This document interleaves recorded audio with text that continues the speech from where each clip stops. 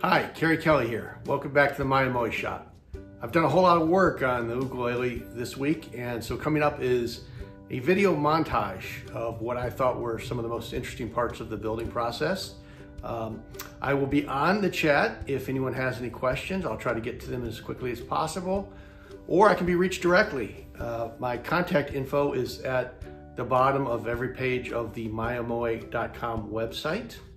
So feel free to reach out directly if you have questions and enjoy the video.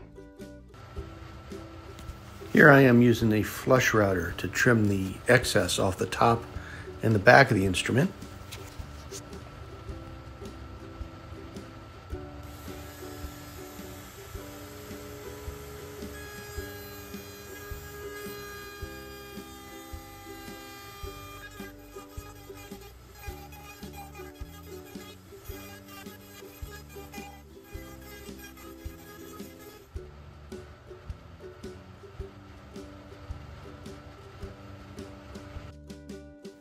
Now I'm making sure that the top of the body is flat and square so that the neck joint will work well.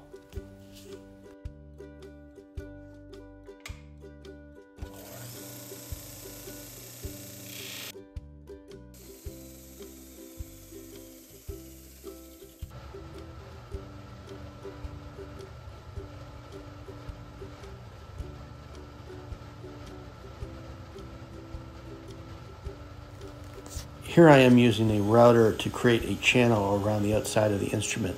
This is where the binding will go.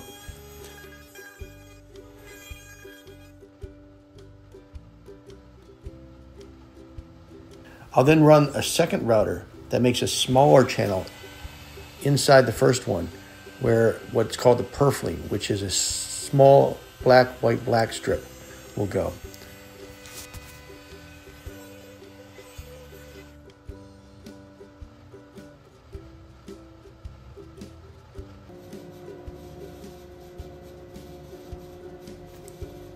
Here the body of the instrument is clamped into a special contraption where I use a router with a special bit, a dovetail bit, that's used to route out the joint where the neck will go.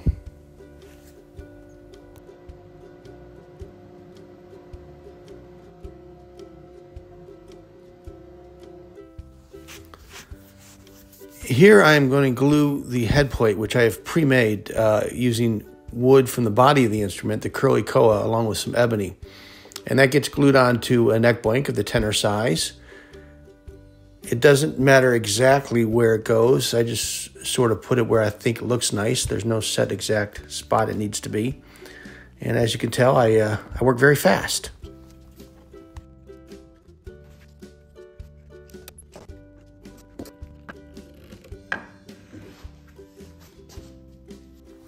Now I'm fitting the neck onto the body and using a template to mark out exactly where the fretboard will go on that neck blank, as well as the outline of the headstock.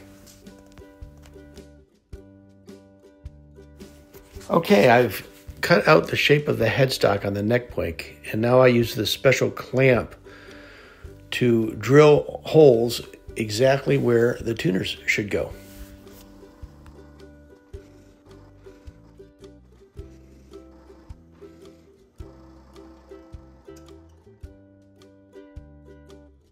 Okay, we're moving right along, and I have prepared some binding strips of ebony using the same side bender that I used for bending the sides. And I am going to glue them in place along with the purfling that gets tucked right in between the binding and the body of the instrument. Notice again how quickly I work.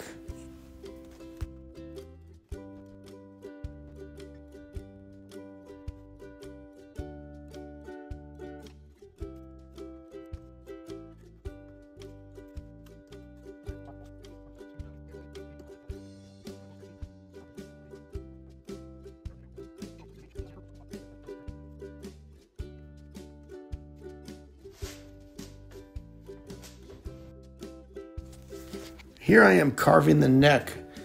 I use a combination of rasps and a spoke shave to get the work done. And uh, as you can see, I also do this very, very quickly.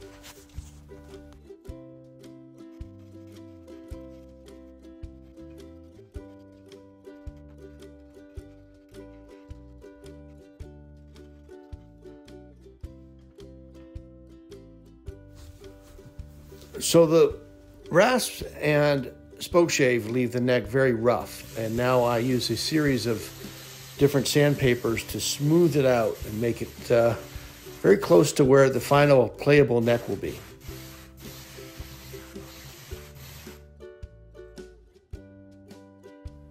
And lastly, for this week anyway, I am dressing the frets, making the fret ends nice and smooth for the player using a series of different tools.